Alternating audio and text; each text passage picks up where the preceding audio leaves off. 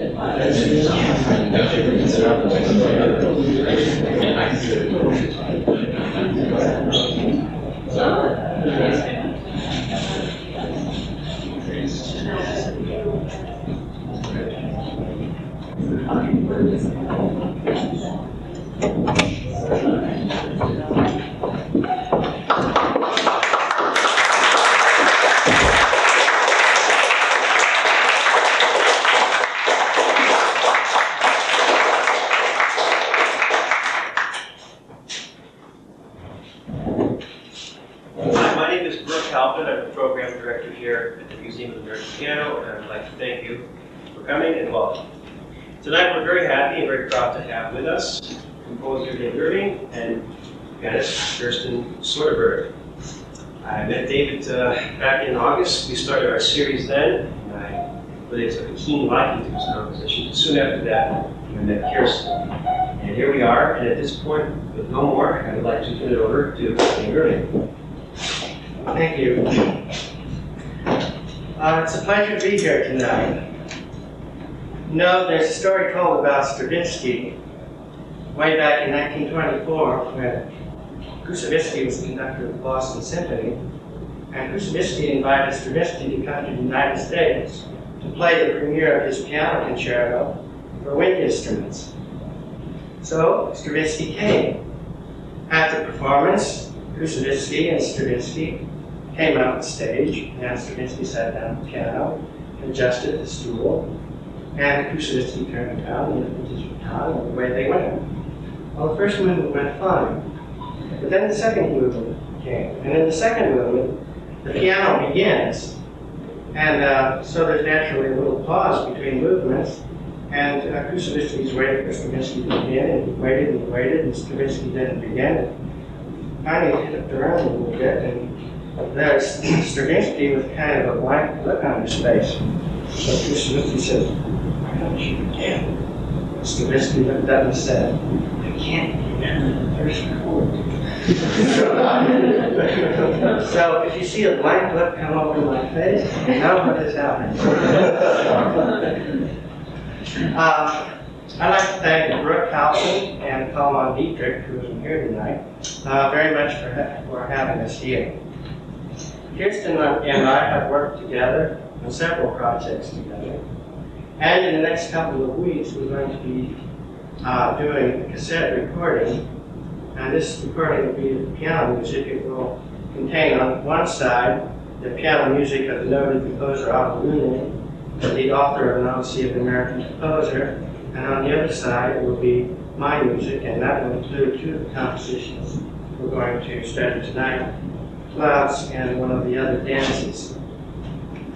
It's kind of a unique and unusual thing that an organization like the museum here can get behind contemporary music the way that it has. And it's really great for composers, and it's also very good for modern music. It gives us a chance, composers, musicians, and the musical public, and interested parties, the opportunity to come together and talk about modern music and kind of share ideas and concerns too, if necessary. Tonight we're going to talk about a short composition, Clouds, which was written last summer, on the first half of the program. And we'll be dealing then uh, mostly with some traditional materials and showing how it's used in some more innovative ways. On the second half of the program, we'll be talking more just about the interaction between um, uh, traditional and more modern uh, sounds and techniques in composition. And we'll broaden the scope a bit then to include creativity in the discussion as well. And now Kirsten is going to play clouds, and then we'll have a discussion, and then she'll play through clouds once again, and then we'll open up for any questions.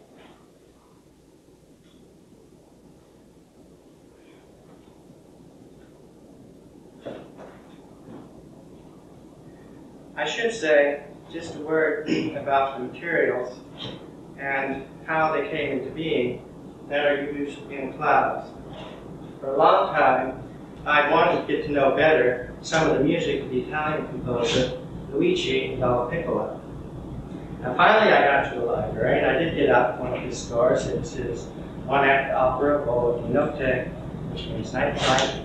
And uh, I started to go through it a bit. It's an early work. It was written in 1939. And in that opera, I came across the following passage.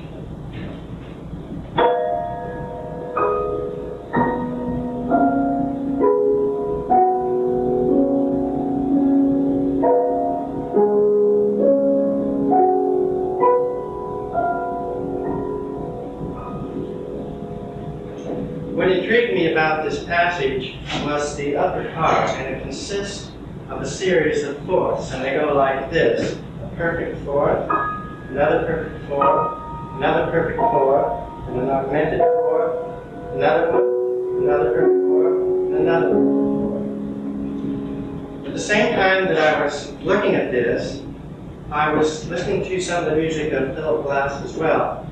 And as anyone who knows, Philip Glass is a minimalist who uses techniques of uh, extended repetition and also uh, frequently extended arpeggiations, especially those based on triads. I wanted to do a composition using more extended techniques and also using arpeggiations. And in this connection, somehow, these fourths of Della, Dallapiccola kind of crept into the composition really uh, rather unconsciously. What I did though is that I omitted the outside fourths so that, that I ended up with a series of fourths that went like this. A perfect fourth, another perfect fourth, an augmented fourth, a perfect fourth,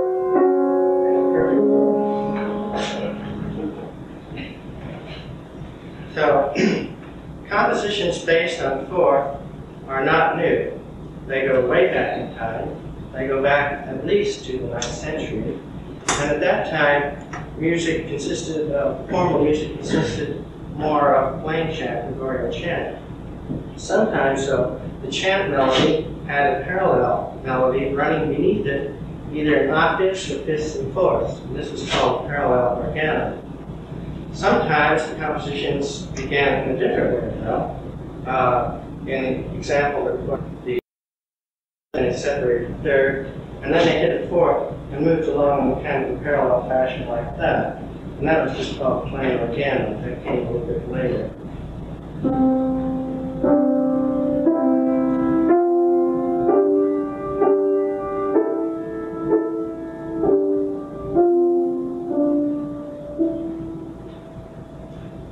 It's kind of fascinating uh, to note how traditions manage to, to persevere and carry on over centuries of time.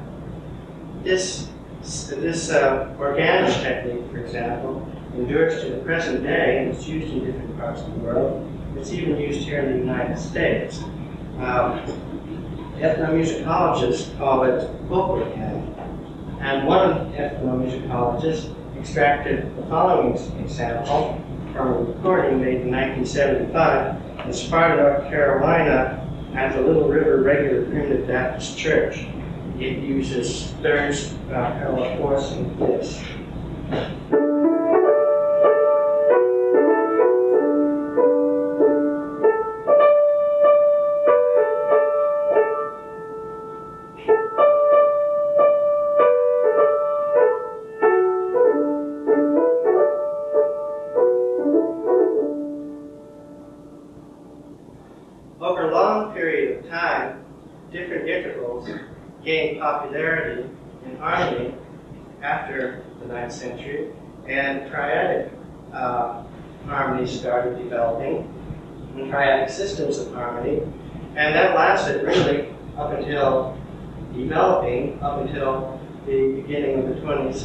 And of course it's still used today. Fourths and fifths, though, got kind of relegated to the basement where they became the basis of, of harmonic movement.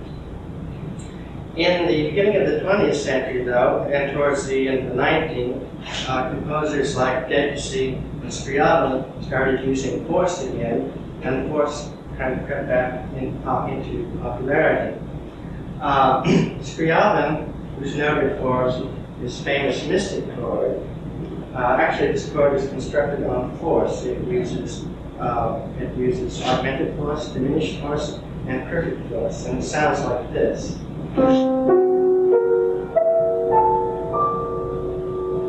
Just as a matter of interest, the sequence of pitches that we use in clouds, uh, if we alter one pitch from this mystic chord Scriabin, we get the same sequence of chords.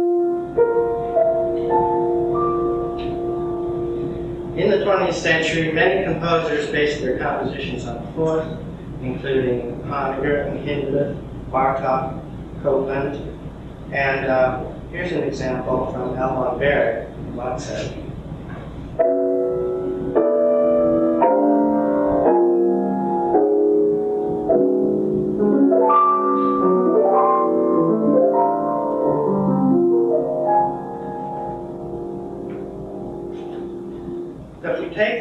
Sequence of pitches that we're going to use in clouds and study the way that they interact, we come up with some interesting possibilities and we use these features in the composition. For example, if we, well, first of all, the, the uh, sequence of pitches actually are divided into two trichords. Okay? So if we overlap these and put them together,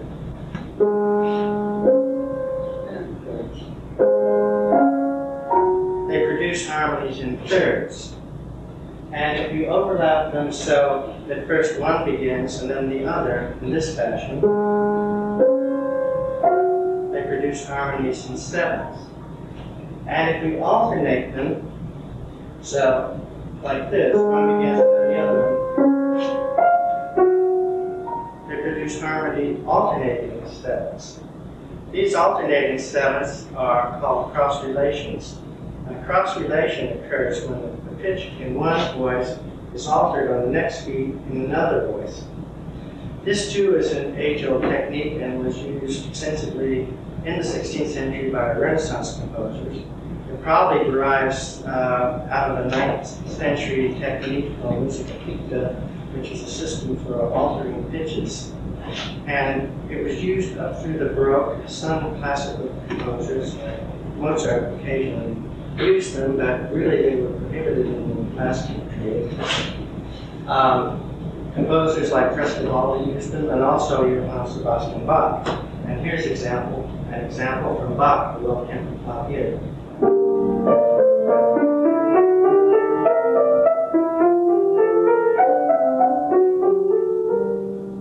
Now this seventh you can hear here if we isolate.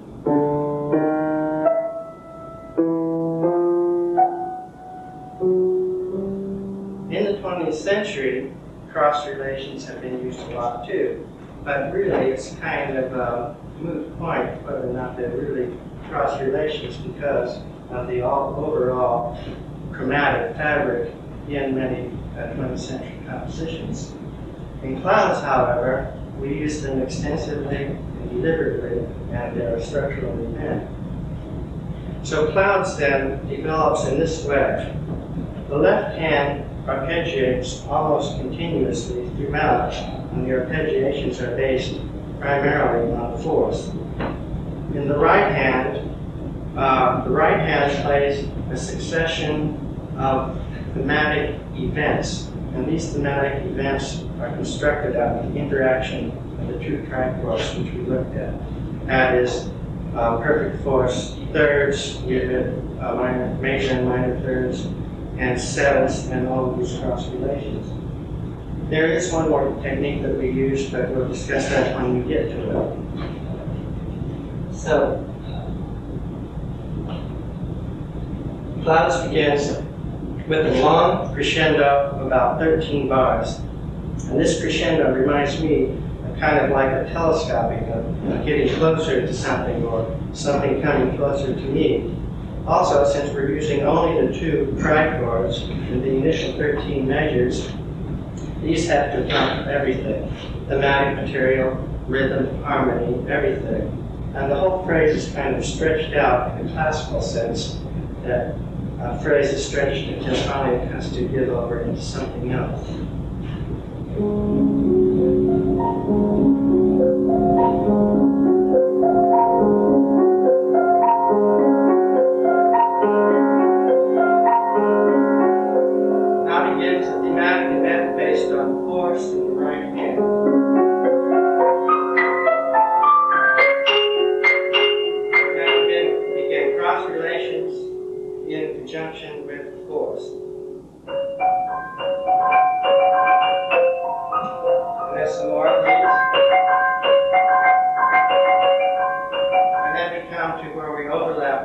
At this point begins another technique. And I had a professor who named Richard Ruskin who used to call this slip sliding. And slip sliding is a technique which describes harmonic movement. Now, prior to the 19th century, the bass moved mostly in fourths and fifths, as, we discussed. But as the harmonic vocabulary increased, in the 19th century, composers began moving the bass using other intervals like thirds or half steps or whole steps. So slip sliding is a procedure uh, in which, say, these are the three members of a chord, the bass, the middle voice, and the upper voice. We could have more, but we'll just use this for an example. And say the bass moves down, and then maybe this voice and this one, and then maybe this one, and then this one, and then the bass, and so forth. So they kind of tumble over each other until they reach their destination. Uh, here's a 19th century example of that slip sliding technique.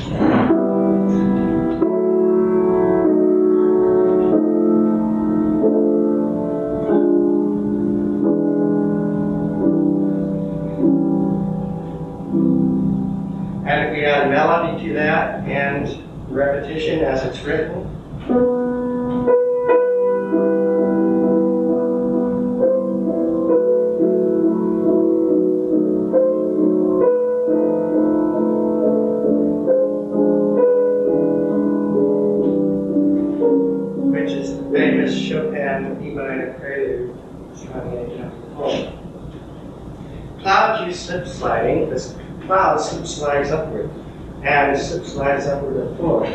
This fourth is perfectly logical and consistent with the overall, as an overall motif, since the composition is largely based on fourths.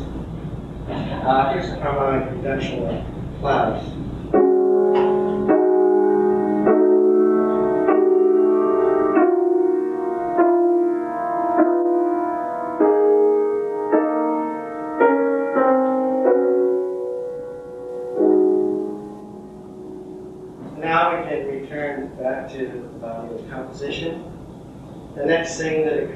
The repetition of the first events.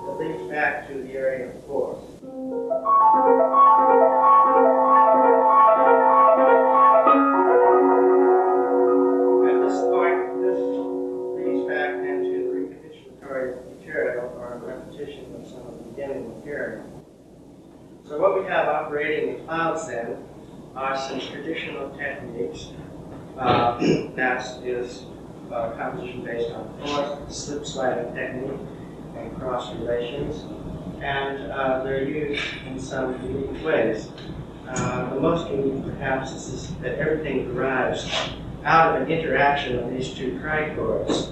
And that is fourths, is thirds, and cross relations. Um, there are a couple of other interesting things going on. And one is the overall form.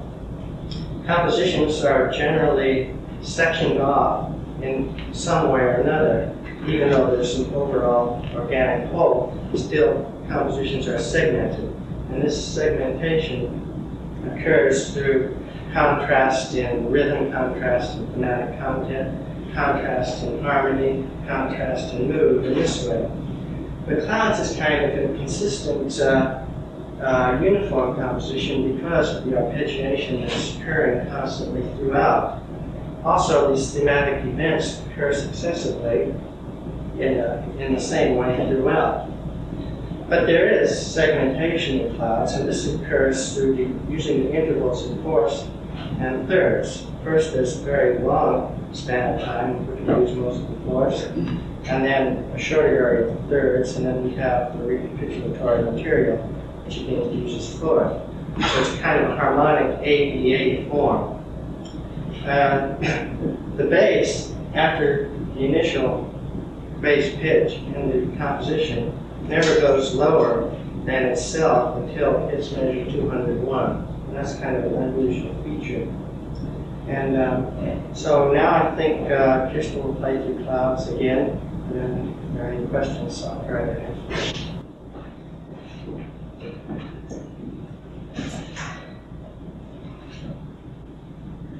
Thank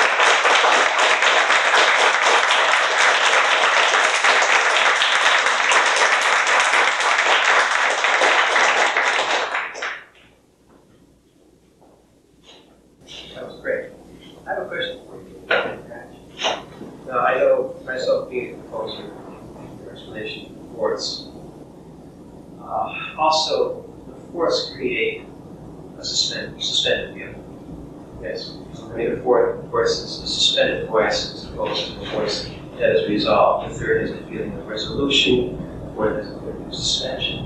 However, the third end of the piece, all this wonderful suspended floating fourths, you end with a major third. Now, was your objective to make the piece sort of land and settle it and all that suspension?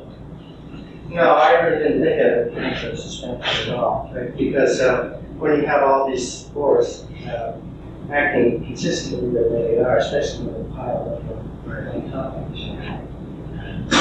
So it takes away the feeling of suspension. And I, uh, I know what you're referring to, when you, especially thinking about uh, forests a long time ago, actually was distance which resolved. But you're, you're ending piece with a major third, and was that, you know, was very deliberate, I trust. Uh, not, well, not necessarily. A lot of things happen in this kind of conversation which aren't really. Uh, As listeners, did you, when it finally ended, did you feel that something had changed after hearing all this speech to? You know, Was it a feeling? Yeah, it was ending, it was the end, right? But that's an interesting point, I see what you mean, and, and, overall, I think, you know, maybe something is operating out of something like that. Uh, That's. Um, I'm just curious, if this time I heard it again, I guess I think this was um, it had a strong emotional turbulence. Yeah, I was curious if it was an emotional uh, feeling that you attached it Um, well, I had, actually, I had kind of, it's kind of a dream, it's making a piece. But there, there's a lot of distance in uh, and actually, When you say turbulence, were you speaking maybe perhaps of sudden changes in the rhythms that would come up almost unexpectedly, a change in dynamics that very soft, almost to a triple forte, back down again? Um, I, I sense kind of like a winding, unwinding kind of feeling as though there was something. As, as I was surprised at the end of these too, because you mentioned, and during the though it was like just churning up and then some kind of relaxation and then churning up again. So that's.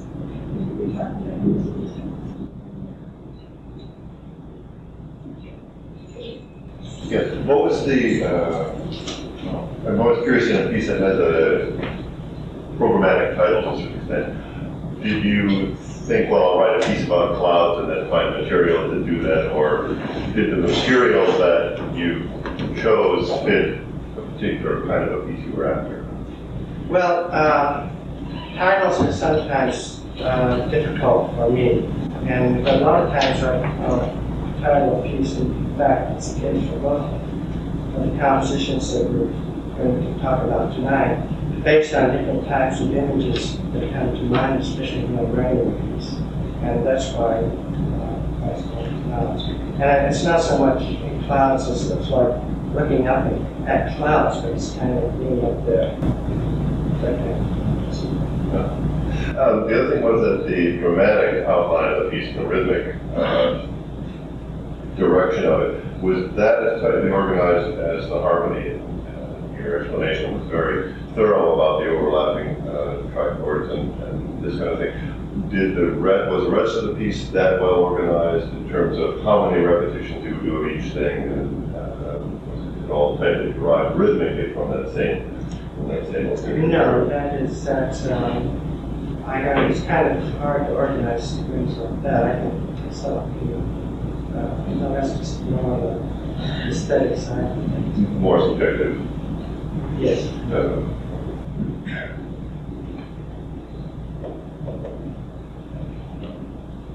As far far as, um, are, as far as attention goes, are you concerned with with, um, asking the listener to feel, uh, talking about the tightness of the organization, are you concerned with these making us feel about, or is that?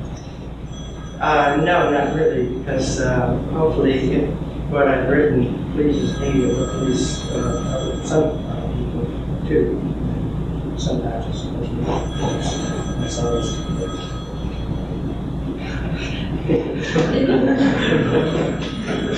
But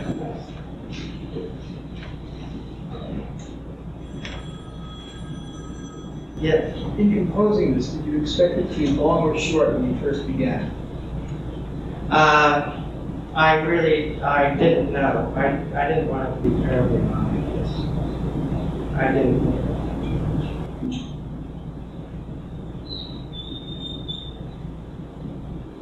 So when you, when you composed this piece, you started with the ideas which you told us about. You had some ideas, and you spent a certain amount of time, for a period of time composing it, and then when you felt it was done, it was done. That's right. Mm-hmm. As opposed to, I'm gonna write four and a half minutes of music. Fill in the blank page. That's right. So, what about you? When was the piece written? Uh, last summer. Last July.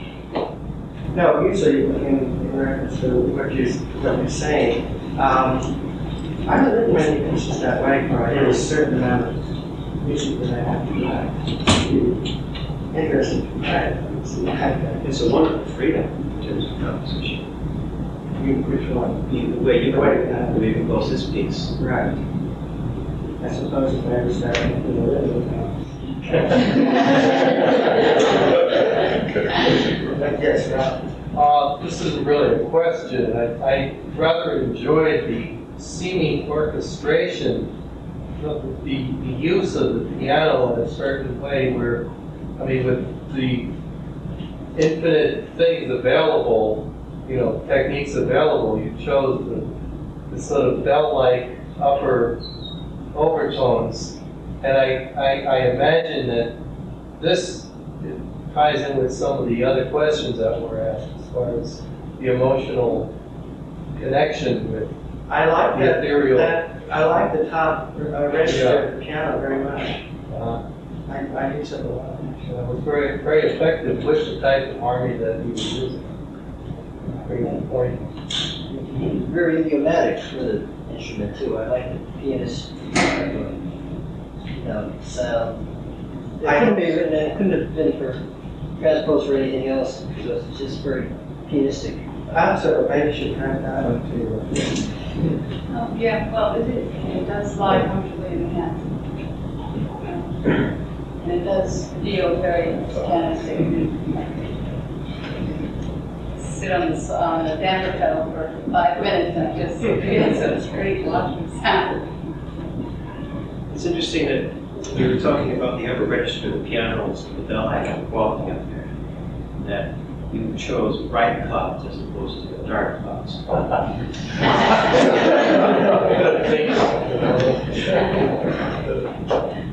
But sometimes tumultuous ones. But, but sometimes tumultuous ones.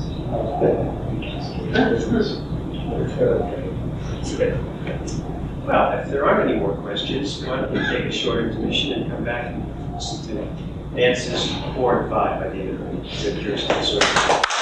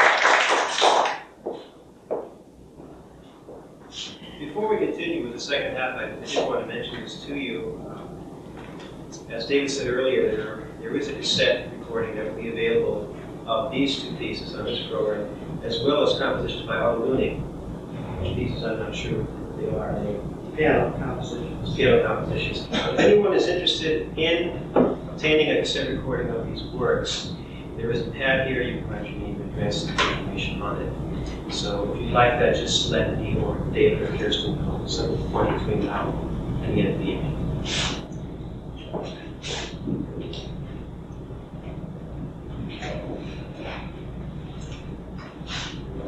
Five dances were written about a year and a half ago.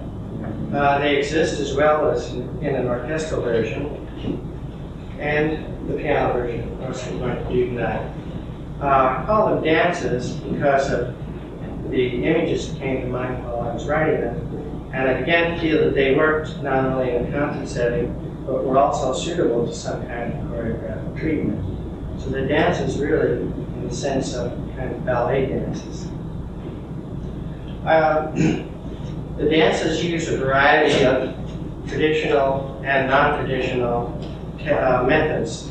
And uh, I thought the second half too that we could increase the discussion a little bit to include creativity because creativity is, after all, the goal of all this technique that we've been talking about. Um, Aaron Copland in his book Music and Imagination stresses the difference between what he terms creative mentality on the one hand, and on the other hand, uh, craftsmanship. He quotes the American composer Roger Sessions to illustrate his point.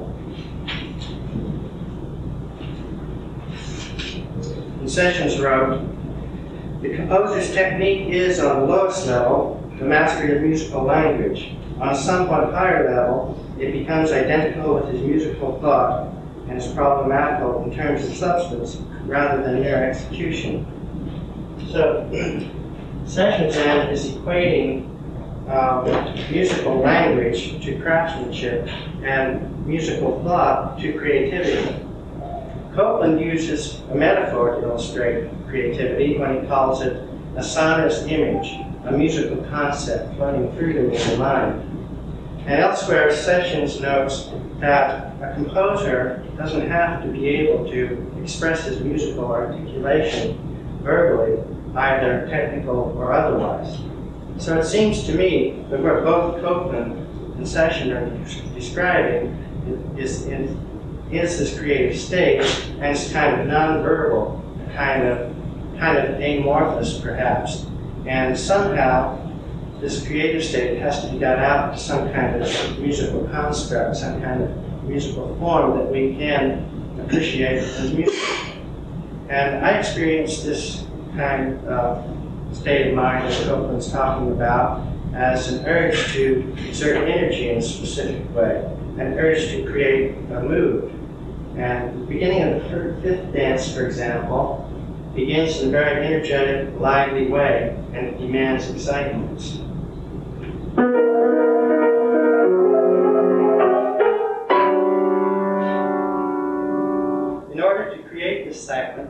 This excitement, we've used a collection of pitches. that sounds like this. But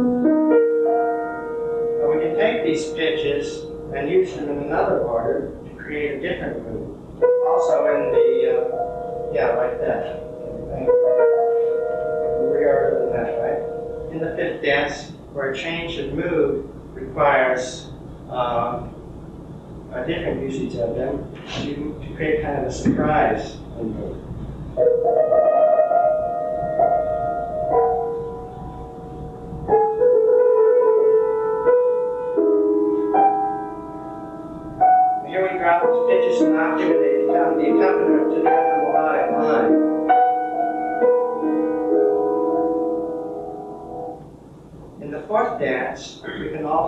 Pitches, reorder them still another way. And here, we want to create a kind of dreamlike sequence.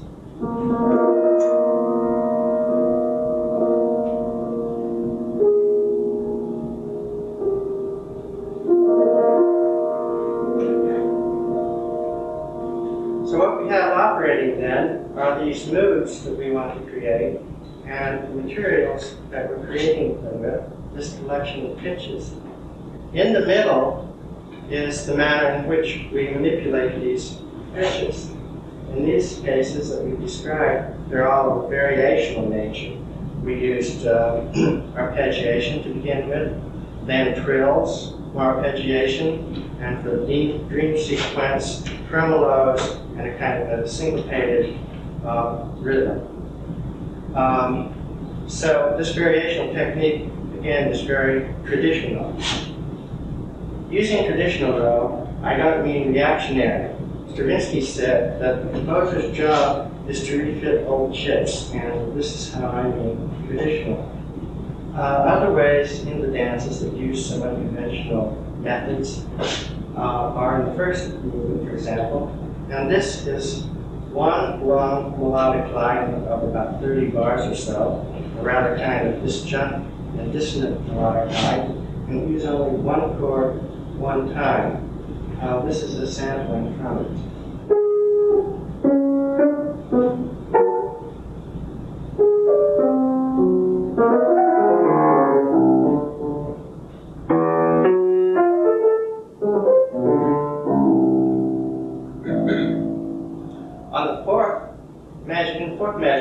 First these pitches occur. And these are the same pitches that we've already talked about, using to create this, these moves. Um, so this is kind of an extraction then from the melodic line, a variational type of extraction. The first measure sounds like this. The motif which we use elsewhere in the movement. The motif is just a melodic kind of fragment that can be used uh, often in altered in form to create continuity in the composition. And here's an illustration of that. So here we have a kind of motivic extraction. Another way that we extract from this melodic line is a more exact extraction. Again, another kind of just jump a little thematic element, a motif. Now we can use this in a traditional way as a closure or cadential point later on in the dance.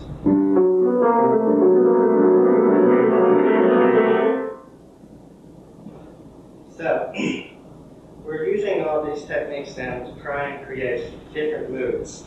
Um, it also describes, however, a larger traditional working. For example, Anton Webern, who is one of the, the uh, most unique and unusual composers of the 20th century, one whom many composers emulated, especially after the Second World War, felt that all composition was essentially a thematic kind, kind of working. He thought that the theme over long periods of time had got worked under itself to become the fabric of the composition, the harmony, and the counterpoint. Uh, we saw an illustration of that in the earlier part of the program in the organum example, where the theme had been directly put under itself to provide harmony. Webern himself used the fugue as an illustration, and the fugue um, is a good illustration because it begins with the subject by itself, then a counter subject based on that subject often, and then a contrapuntal manipulation of the initial idea of the subject to form the body of the whole fugue. So we can see then in the way that we've been extracting from the first movement and the, in the and fifth dances that it's using this older kind of traditional method. But there's also a more unconventional method going on all the time, and that's found especially in the harmony. For example, using again this little extraction from the fourth measure. If you look at these more closely, they consist of four pitches. Two are semitone apart, and the other are uh, another interval. Well, originally there are seven, but here we converted it so. Now, these pitches establish the basis for harmonic movement, movement throughout the dance, fourth dance in this way. The seconds, this dyad, this pair, can move up or down, but it never changes. This interval can move up or down, but it does changes. It does change. And other intervals can be added on top of this and another pitch is added to this. So a reduction of this sounds a little bit like this. First the first the two semitone apart, then the other one, and then some added. And then it goes on like that. We'll do a little bit of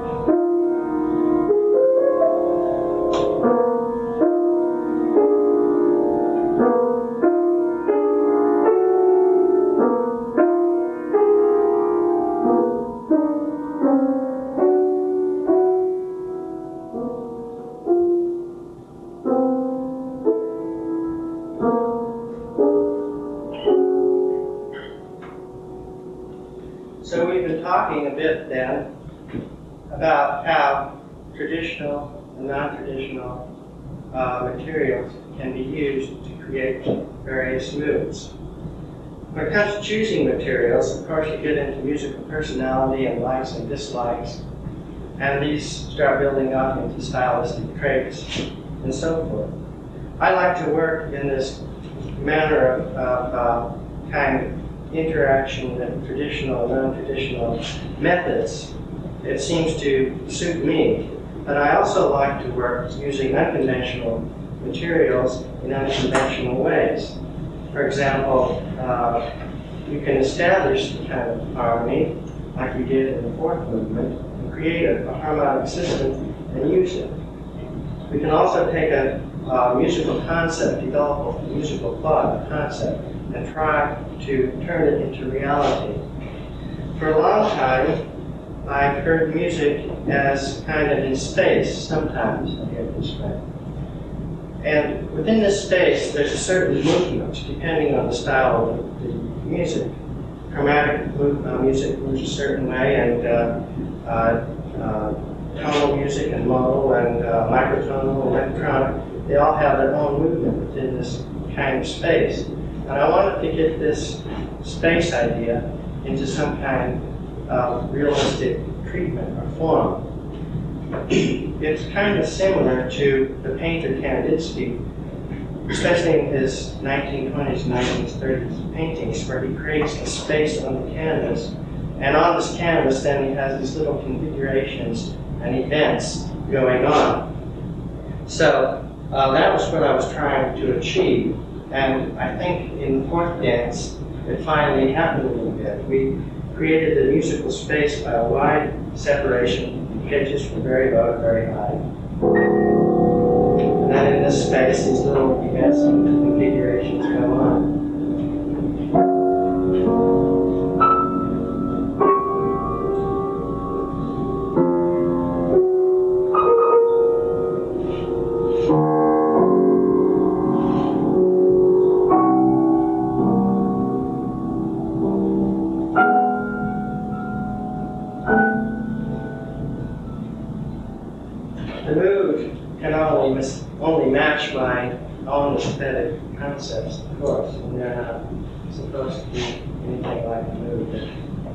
Kandinsky might have created.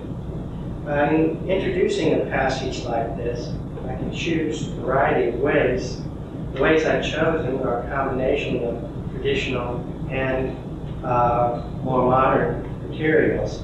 Traditional in the sense that that, that break changes and move, contrast, and move are used, and traditional and uh, more modern in the sense of the harmony again tone clusters.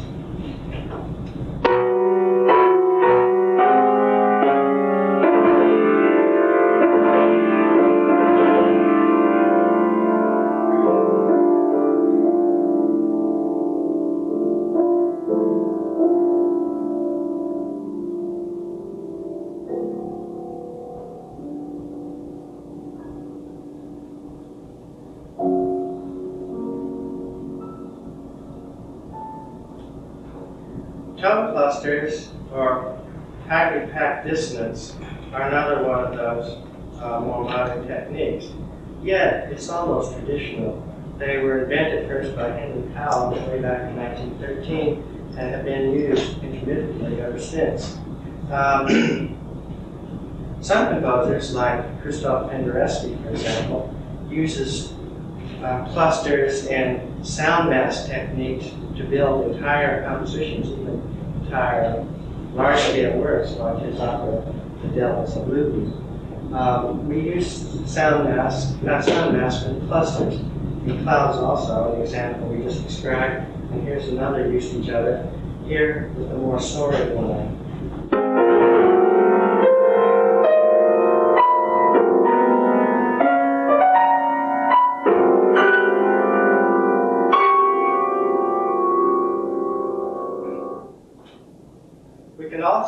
Unpack the dissonance to create a more consonant kind of sound. That's a more modern concept perhaps, but spreading the chord is very old and traditional. Here's an example of that.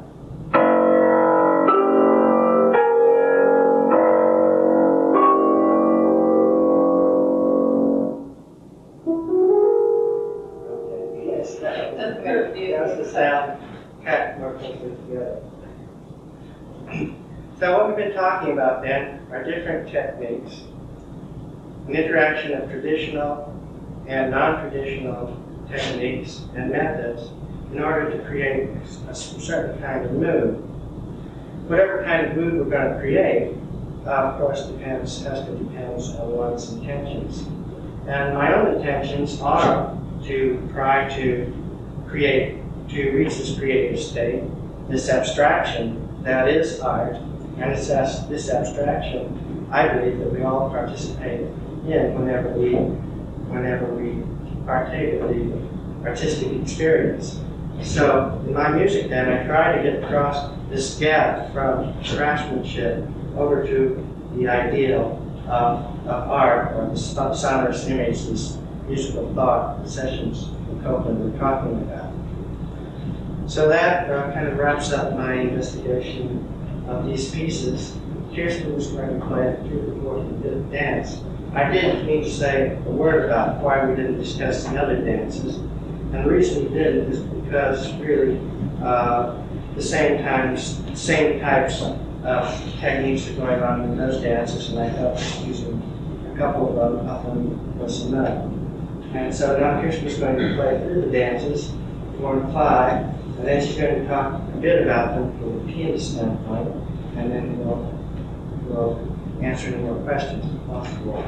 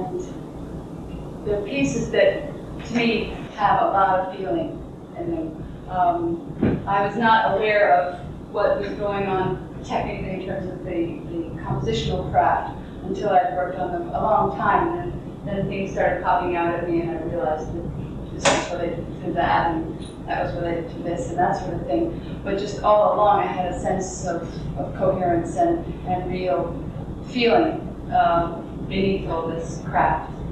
Um, and I, I like the pieces because they, they do take in the full range of the piano, all different kinds of sounds. Um, very clear sounds, very uh, short sounds, and very huge washes of sounds. Um, it's just fun to play that kind of music. And, um, and also they're, they're challenging in that uh, there are little lines that you want to bring out in the middle of a tremendous amount of other things going on. And it's just interesting to, to work on music that challenges that way. Um, and they're, they're beautiful because they, they keep going and going. And, um, I, I like that kind of music. I don't like music that stops and starts and stops and starts. I like it has a drive and uh, has a direction and, and a arrival point. Um, also, I would like to say that it was wonderful working with this composer, David Irving. Um, he gave me a lot of leeway in my interpretations. Um, and although we didn't always um, agree on how to do something, um, mostly it was that, um, well, really it was just one, one particular thing that we um, disagreed about. And maybe I should try to illustrate it. It's in the, in the fourth dance. I just felt that the sounds are so incredibly beautiful that I wanted them to ring for hours and hours, and he kept, you gotta play it faster. But this, this section.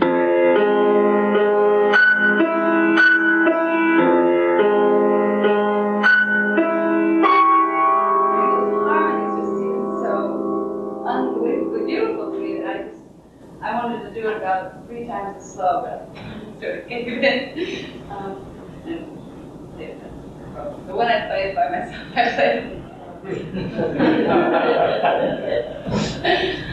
um, I, I guess that's all I wanted to say. Kirsten, Yeah. the use of this, uh, is that notated in the score? No, it isn't. That's my own invention. Because he wants those notes so loud. I mean, they should be played so percussively that on a black note, there's a likelihood of falling off and slipping off. Right. And so I just did like this.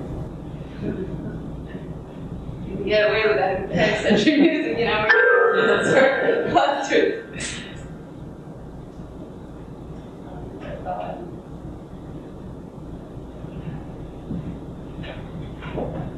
Well, I've got some questions.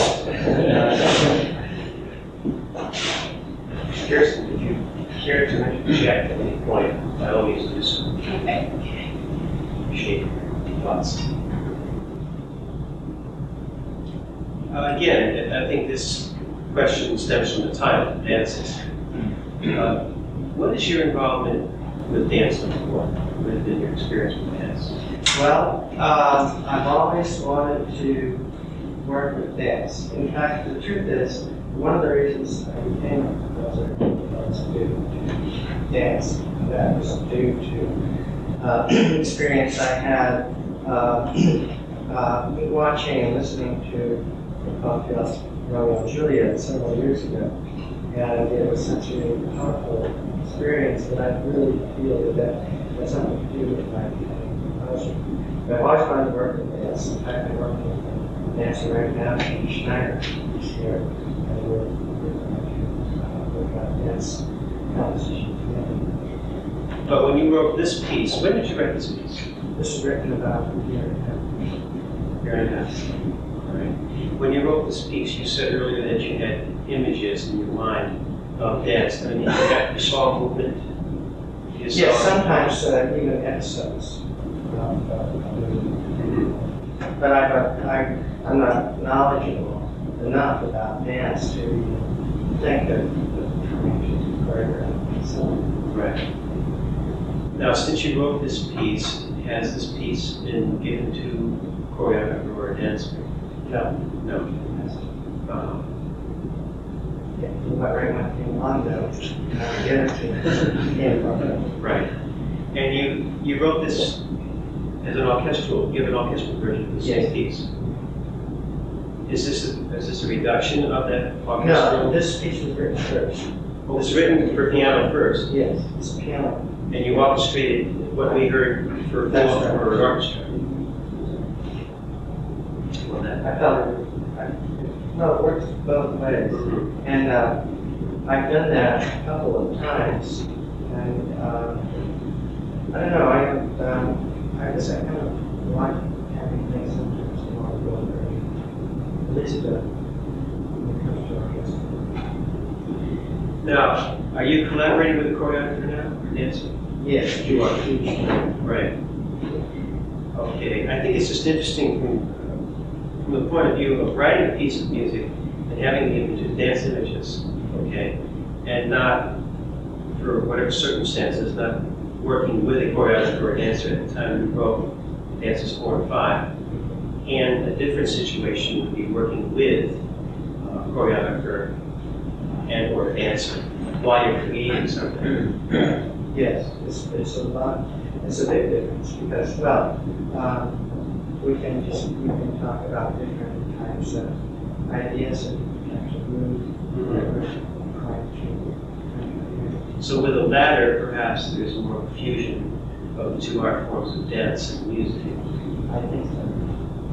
This, this collaboration, which unfortunately is not too common nowadays. I mean, it's very common for a choreographer or a dancer to take an existing piece of music that may not have been written for dance at all. Maybe the composer was thinking of, I don't know, uh, trucks. And someone heard this piece of music that goes over trucks and saw wonderful uh, tonneaus and and round bop mops, what have you. I have this argument with, with too, Mm-hmm. because most of the repertoires are pieces that are not literally Right, exactly. Romeo and Juliet is one of those as well. And also, many instances of ours. Well, I'd love to hear from you. Yes? David, uh, when you do uh, an orchestral uh, version of the piano piece, do you make a note for note transcription, or do you find that the, some of the substance gets changed too? Uh, You have to change the substance sometimes. Um, In this case, the case of this com- composition, however, a lot of it was uh, substitution. A lot of times you do have to change things around.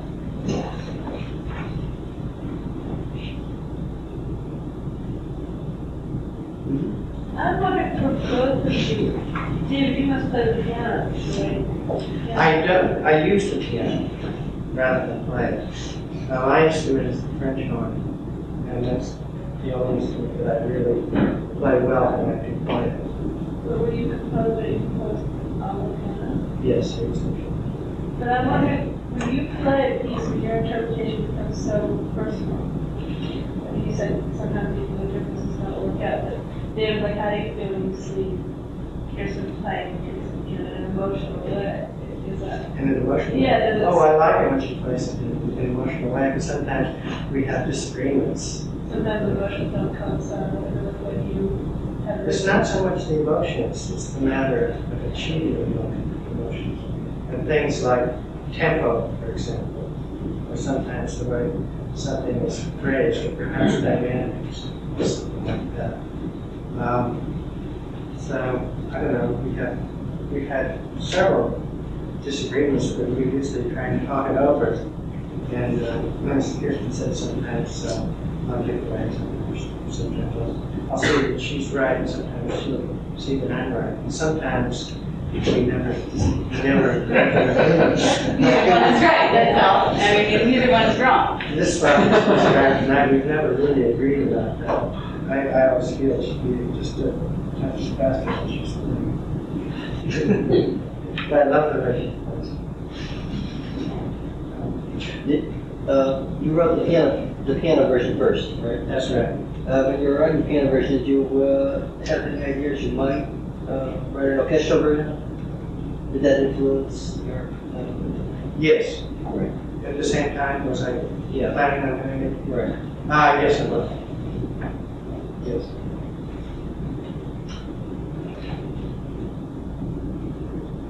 But essentially, it's really not that, I mean, there's, there's some essential differences, but, uh, it's really the same piece.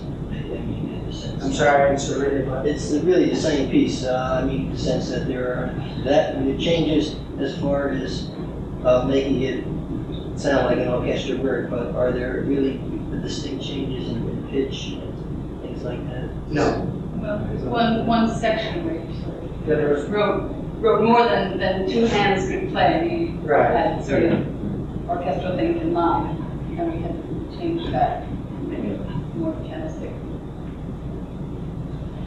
I have a question for our audience. If you did not know all that you know about the pieces with David Irving and I were to play a recording of your, Kirsten were here and she could play Clouds, and then she could play Dances Four and Five, would you think that they were written by the same composer? And if so, why? And not, why?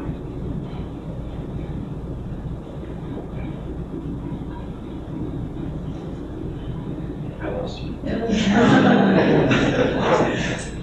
I'll, I'll just venture a very top of the head sort of thing.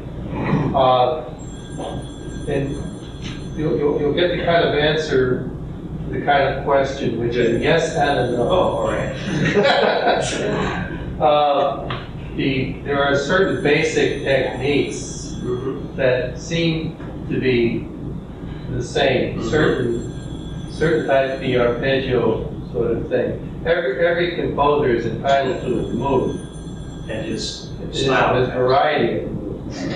Um, in fact, I, I respect a composer who can have a variety of moves, you know. Um, so, I mean, it, it's, it's almost an unfair question, in a sense. Well, I I have a motive behind that, and that is that I, I think that as different as they are, you can still recognize a consistency of a style. There is a style Yeah. there.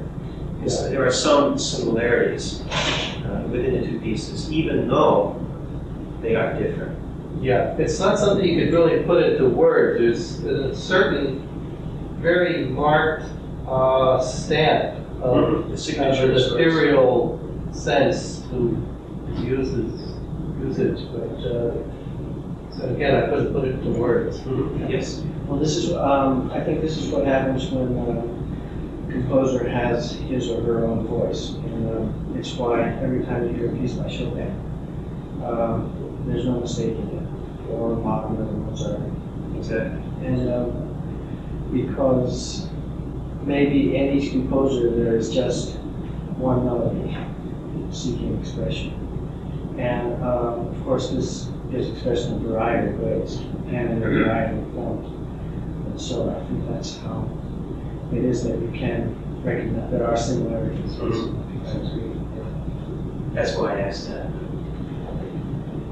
There are also basic attractions that a composer has that Yes. leans toward. Exactly. And it's, it's almost, once he gets it in his musical beingness, so to speak, it's almost impossible for him to not incorporate it without changing his personality. Does anyone have any thoughts or would like to ask David Irving or Kirsten Sorteberg? Uh, David did bring up the idea of creativity, which I think is an incredible subject in itself. I mean, I know that we have people in our audience tonight who are indeed creative in ways, whether it's musical or not musical. Does anyone have any, any thoughts or any questions on that word creativity or the creative process when it comes to music? Well, I'm not sure that's exactly the question, but what intrigued me before was when you brought up the idea of talking about working with a ballet dancer and whether, uh, you know, fitting the composition to working with someone as opposed to creating something after. Do you feel stifled in any way where you could work with a set form, let's say, working with, with putting poetry to music?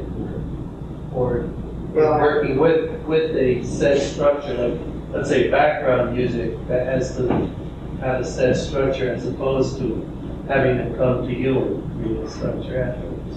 It's, a- it's a different manner of working. I've done that. I have done that. uh, But how do you, how do you see the difference as far as the creative process? You feel stifled, or do you find it a different type of challenge? No, because you, uh, I think, uh, I think uh, compositionally one sets up as kind of um, a, a a structural idea that you're working with anyway, whether it's in terms of or, or, or, harmonies that you're using, and there are some kind of structures that you, you're going to use. If you're using words, then uh, you're using a variety, variety of ways, um, you can follow the meaning of the text. Uh, it's just different.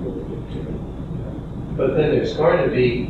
I'm, I'm- I have a it's very personal reason for asking. I'm working on a piece where I have to work with a poet who's doing some T.S. Eliot poems. Now, our interpretation of the mood may be different enough to create some sort of friction between us. I don't know.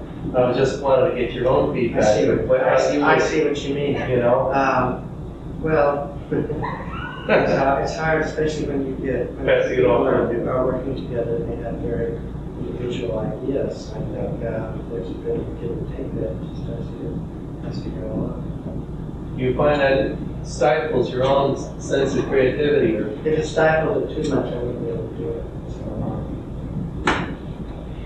We think that the two different art forms would intrigue the artists. and I think that's, the right chemistry, I suppose, and that's what I think any two artists working together strive for and seek in one another.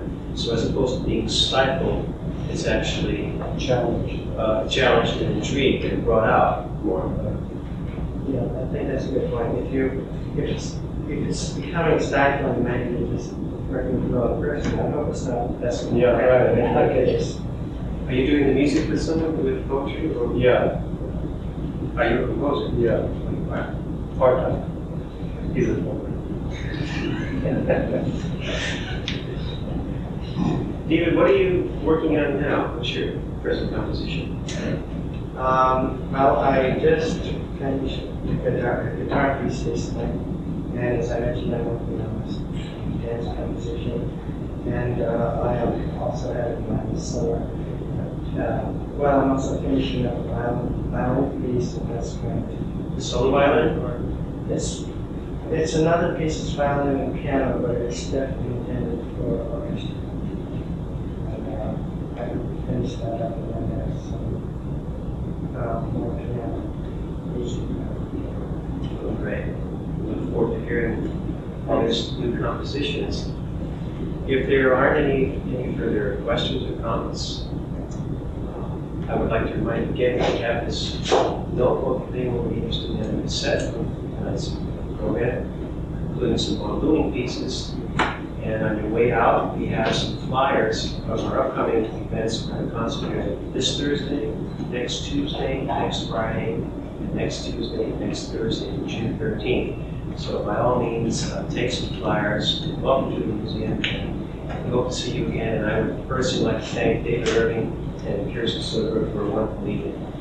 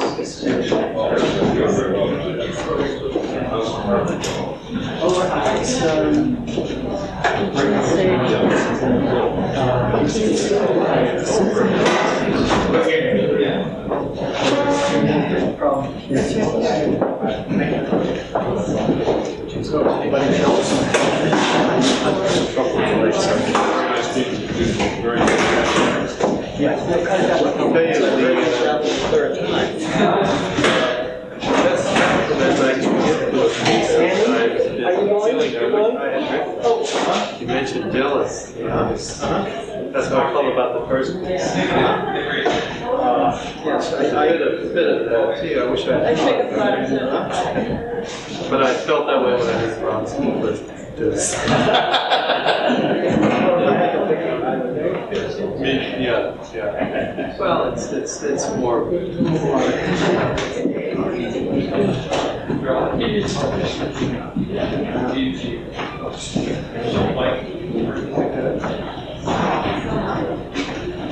I just, Now I think that. expensive stuff. Cars. Yeah, yeah. Forget the shopping cart and the water.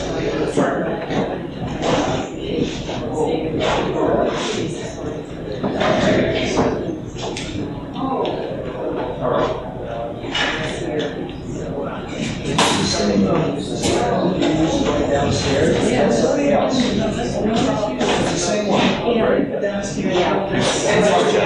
Describe it, I leg or something like that, then do it, sort of step downstairs. The whole difference. And when that's on a step, you can step down. I see, oh, I see, I see. Yeah. So you can go up a step, same way coming down, you have to turn around sometimes. Great